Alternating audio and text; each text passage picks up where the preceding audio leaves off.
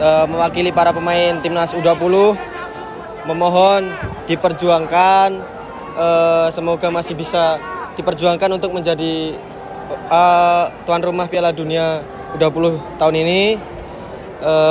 Kita para pemain juga sudah berusaha semaksimal mungkin untuk berlatih, untuk menunjukkan bakat yang kita punya di Indonesia ini. Tapi ya kita kan udah dengar isu tentang itu, jadi mohon diperjuangkan semuanya, Bapak. Kami percaya bahwa Bapak bisa memperjuangkan kita. Semoga berhasil ya, Pak.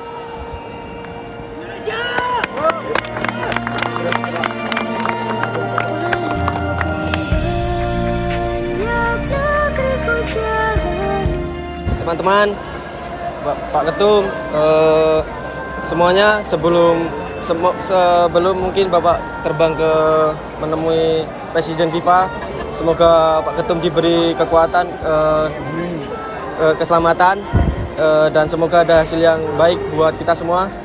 Berdoa menurut agama dan kepercayaan masing-masing. Berdoa mulai.